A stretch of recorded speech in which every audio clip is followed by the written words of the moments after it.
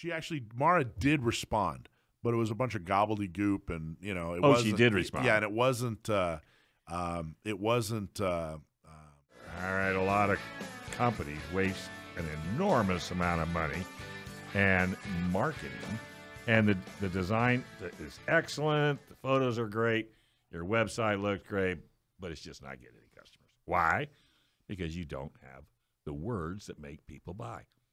But now you can fix that with Sage Tree. Sage Tree can help you find the words that make it easy for your customers to understand what you do and how to buy from you. Stop wasting money today and schedule a call. Getting started is easy. Just visit sagetree.com, click on the schedule an appointment button. at sagetree.com and click on the schedule a call button. So we actually have a couple of things to talk about. The first thing that we haven't mentioned yet is, uh, you know, there's a special election. Nathan uh, Fletcher, everybody's favorite, um, stepped down. He is gone. He is in our political rearview mirror. And I got to tell you, I hope I hope he never comes back. He was a, such a bad guy. He was such a bad guy for so many years. Um, I know Democrats that are that are happy uh, that he's gone, uh, and, and let alone you know every Republican in San Diego. So it's a good thing. Nathan's gone. You know, good riddance to bad rubbish. Um, uh, you know, beat it. You know, don't let the door hit you. You know, no. So that means there's going to be an election, Dave. Did you know that? Yes, indeedy. Who's running? So there are uh, a number of people running, but I think the top three are um, uh, Janessa. I just forgot her last name. Janessa Goldberg. Okay. Goldblatt. I think it's Goldblatt. Goldblatt. I'm sorry, Janessa. I'm truly not trying to butcher your name. Uh, she's running. Um, she's a Democrat. There's uh, Monica uh, uh, Montgomery Steppe. She's the city council member in uh, I forget which district, but she I think it's District Four in in San Diego. And she is a. She's a Democrat. I think she's probably the most likely to get. I think she actually just got endorsed by the Democratic Party, so she's the endorsed uh, Democrat. And then there's Amy Reichert, who of course ran. She was uh, a part of Open San Diego with the whole COVID situation, and uh, she ran last time when they redrew the district. She ended up in the district, District Four. She ran, um, and she is running again. She's a Republican. She is the endorsed Republican. She just got endorsed on Monday night, Oh, last good. Monday night by the Republican Party. She got one other endorsement before the Republican Party, even. Uh, Sunday night, the San Diego County Gun Owners Board met. Uh, she uh, attended the meeting via Zoom, and uh, San Diego County Gun Owners has endorsed Amy Reichert for District 4 for County Board of Supervisors. Um, if you go on our website under the election section, you can find our. Uh, we have a flyer there. We have an announcement, and then at our tabletops, we've been uh, passing out flyers to help her get elected. So please go to Amy Reichert's um, website. Make sure that you help her. This is a special election, so there there's no other there are no other elections. You can just focus on her election. Um, she she needs people to walk. She needs people to you know call. Reform San Diego's doing a bunch. We of Throw course some are money. Throw a couple of bucks. If everybody gives a couple of bucks, no one has to give a bunch. Um, there- but anyway, congratulations, Amy, on your endorsement. Um, and uh, yeah, there you go. Tell your friends. Now, the only people that can vote for Amy are people that live in District Four in the county, which Where's is which is like a fifth of the county. It's, it's a weird gerrymandered district. Um, part of it's downtown. Part of it goes all the way out to La Mesa. Um, uh, yeah? I know it's weird. Kind of kind of goes up and down Mission Valley, but kind of not. Did Fletcher do that? well, um, no. Well, part. I mean, in part, everybody got together, and you know, every ten years they get together and they redraw the districts, and there's this big fight. Why do they do that? It's in the Constitution; they have to. Oh, they. Oh, yeah, they have. they have to. So, uh, uh, in the California Constitution. Um, Oh well, that doesn't make it right. that, who cares about that one? Yeah, what that that doesn't make it right. I like I like how you, the look on your face. Well- Jay. oh, the Constitution. No, California Constitution. Oh, who cares? Yeah, come on. That That's old not- thing? That's not even a constitution. so uh, they redraw the districts uh, every ten years, and every uh, it, it, it's this big fight between blue and red. And they, everybody tries to stack all. the You know, the Democrats try to stack all the Republicans in one district. Sure. You know, and the Democrats try to stack all, or Republicans try to stack all the Democrats in, in one district. So it's always a big fight. Um, I don't know. I don't know how I feel about it. I get the reasoning. I think a lot of people think that it's uh, it's a little bit more. Uh, I don't know. I, so I- let me ask you a question. Sure. Since you kind of move around a little bit, Yeah. Are you going to move to the fourth district to vote? it's a good question. I have to re-register well, you're almost registered in every county, right? to do that. I don't know. I don't know. Uh, but it's a thought. I mean, something to think about. It is a thought. I'll have to think about that. I'm trying to think if I'm. Nah, I don't know. That's just what you need another. I know, I get another- another complication in your life. Good question. Now I have to find a house in La Mesa.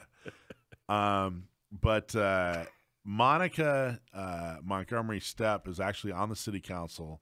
Uh, she has a huge advantage. This is going to be an uphill battle for Amy. Amy. Uh, yeah, because she Monica's entire district, her entire city council district, Yeah. is in the county district, and she got like seventy percent of her district to vote for her. Ooh. And I forget the percentage, so I don't want to mess it up. But a, a it, her city council district is a significant portion of the county district. Mm. Um, so this, so if you're if you're sitting there thinking, hey, somebody else will do something, you know, I don't have to. You're wrong. You know, and if you think, hey, I got to live in in District Four to help Amy, you're wrong. You don't have to Oh, I thought you had to live in it. To vote, but to help her, Oh, oh, anybody oh, can show up and help gotcha, You can gotcha, donate, gotcha. you can show up, you can help, you can do all kinds of things. Gotcha. Um, uh, another push, by the way, real quick. Uh, Reform San Diego is doing a lot. So if you if you are a part of Reform San Diego, um, they're they're kind of heading up the effort with uh, Amy Reichert. Carl doing a- DeMaio. yeah, Carl's doing a really really great job on that. So Yeah, um, he's been tripping into KUSI pretty regularly lately. Carl has Not as bad as you. he, he's just the best. I got to tell you, when it comes to moving and shaking and doing in politics, I can't think anybody. And better. it's so funny that he's not running for anything. Yeah, he's just he stays back in the back yeah. and keeps loading the cannon. He just keeps loading the cannon and uh, helps That's- that's helps a a, bunch analogy. of people. That is a good. There you go. You can write that down. write that down. He uh, he's helping a bunch of people get elected. Yeah. I, I you know I, he does a great job. He's got a great uh, uh, platform on the radio there. And, Yeah, you know. got an awesome one. So one thing I want to talk about too is uh, uh, Mara Elliott. Um, I just heard fr- from a through the grapevine Good source. from a from a source that their gun violence restraining order di- division um, they moved it from the criminal division to the civil division. Um, now, what what does that mean? Well, so the city attorney, her real job is to be the attorney for the city council. Mhm. That's actually her job. Um, but there are some prosec- prosecutorial um, duties that she gets. Yeah. Uh, specifically misdemeanors, Mhm. you know, um, felonies usually go to the DA.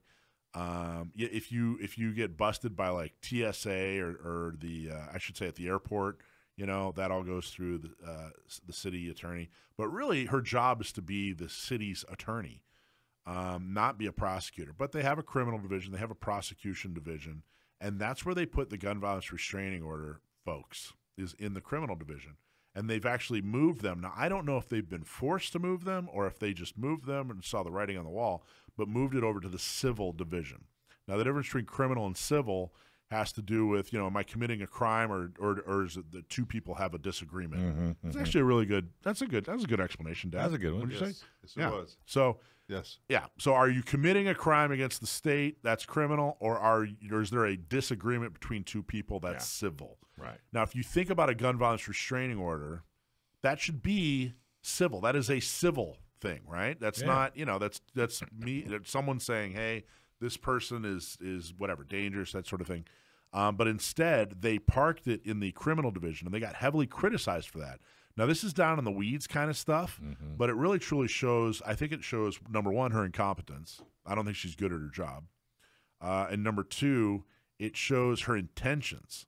You know, she, her intention was to use this thing, use the gun violence restraining order against people. You know, her intention was to uh, take it and use it as a tool in a criminal way, not in a way of like, hey, we need to help or stop or whatever. Not in the way that gun violence restraining orders were intended to be Okay, used. so when she refused to take Fletcher's gun, Well, yeah. Would that have anything to do with where they moved it? No, um, I don't think they're related, but I still, I mean, if if there was ever a piece of of evidence that proved what we're saying is accurate, and Yeah. that this thing is, you know, wildly inappropriate and being used inappropriately, it's when we said, "All right, great, Where, you know, where's your gun violence training order for for your buddy Nathan Fletcher?" Yeah. Oh, I can't do that. Nothing. I can't do that. Not a whisper, not a word. I heard from you know I sent that that letter to Mara Elliott, the city attorney. no response. I sent it to the chief of police for San Diego, Dave Nisleit. He responded. Yeah. Had a great conversation with him. Uh, sent it to Summer Stephan, the district attorney. Uh, district attorney responded. You know, fantastic conversation. conversation. You know, uh, sent it to the sheriff, Kelly Martinez. Fantastic conversation. Well, send it to her again. Say maybe you missed it. responded. You know, hey, did you get this? Did you get this? So, well, she, I, I, I, I I'm sorry, I, I kind of misspoke. She actually, Mara did respond, but it was a bunch of gobbledygook, and you know, it Oh, she wasn't- did respond. Yeah, and it wasn't, uh, um, it wasn't, uh, um, it wasn't really directly related. It Wasn't was related to was this yeah, it was this kind of this sidestep, you know, malarkey. We actually, I think we, I'm pretty sure we posted. no, no, the no. They call response. that politics. politics. Yeah, they call that politics. So I again, this is nuanced. So I don't know how much we're going to do with this. You know, I don't know if we're going to be on KUSI. I don't know if we're going to, you know, go on Well, your or whatever. That's your call right there. yeah. Well, I don't know if we're going to. I don't know if it's enough to talk about. Like, hey, look, she moved this uh, from the criminal to the civil division. But the other thing is, I'm not sure this is going to make things better.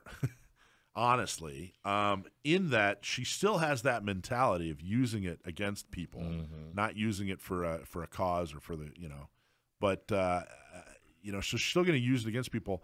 And the attorneys in the civil department tend to be Two minutes. a lot more political, a lot more Mm. you know, uh, anti-gun. So you're just going to be the fly in the ointment, basically. Well, I don't know, but I mean, nothing wrong with that. but there is a lot of ointment to be a fly in. Yeah, and Carl, he's a honking fly.